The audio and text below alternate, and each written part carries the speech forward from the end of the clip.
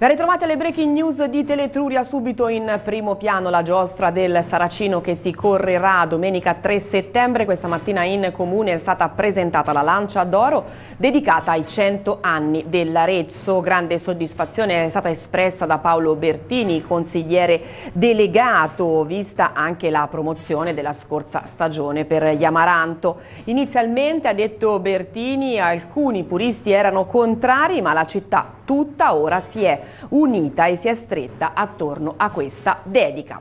Ed ora veniamo alla cronaca, obiettivo sicurezza, la questura di Arezzo come tutte le questure d'Italia mettono in guardia su questo primo fine settimana di controesodo. E infatti oggi pomeriggio nel tratto aretino della 1 c'è stato un incidente intorno alle 16.30, uno scontro auto-moto, un 34enne, il Centauro è rimasto ferito ed è stato portato con il Pegaso a Careggi, a Firenze anche la moglie con l'ambulanza. Si tratta di un incidente piuttosto grave, eh, lunghe le code che si sono generate nell'autostrada e domani sarà un'altra giornataccia, previsto anche un peggioramento del meteo.